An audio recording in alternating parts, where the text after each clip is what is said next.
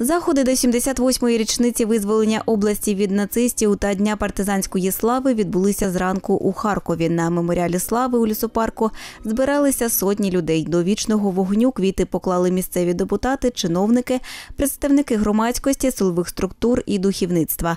День області відзначається 19 вересня. Цьогоріч ця дата припала на неділю. А от днем народження регіону прийнято вважати 28 липня 1965 року, коли була створена Слобідсько-Українська губернія з центром у Харкові.